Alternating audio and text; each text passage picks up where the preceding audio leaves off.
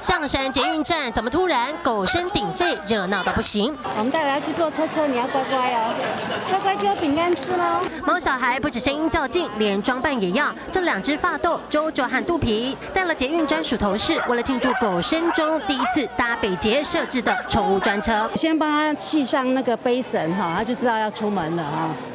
然后他有特别嗨这样。嗯，蛮开心的。你看他在叫，我就是平常都是用推车推他去做捷运。平日搭车规定宠物得装好装满，在箱子或袋子里完全不能露出来。这回响应国际宠物日，从象山到圆山站大约二十分钟时间，毛小孩、喵星人能在车厢里双脚落地啪啪照。进到车厢里，其实可以看到呢，列车整个布置都很不一样喽。每一个挂环上面都有很可爱的一个玩偶，就是让猫猫狗狗都可以来好好跟它玩一下。另外呢，为了犬猫之间哦不要有冲突，所以呢，犬跟猫通通都会透过这个栅栏来做分开。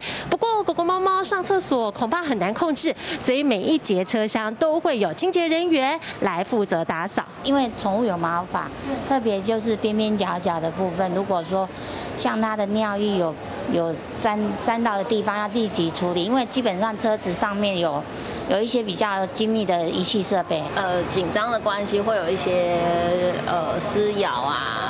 彼此咬伤的这些动作，所以才会有请兽医师驻车。北捷每节车厢派出专属兽医师和清洁人员。活动结束，专车也会送回机场全面消毒清洁，并更换空调滤网，再重返线上载客。只是未来会不会常态化，还要观察。毕竟上线六年的台北狗狗友善公车，各路线每趟平均只搭载零点零七只宠物犬，被嘲讽根本是狗不理公车。哦，所以我们主要的目的是，除了载人之外。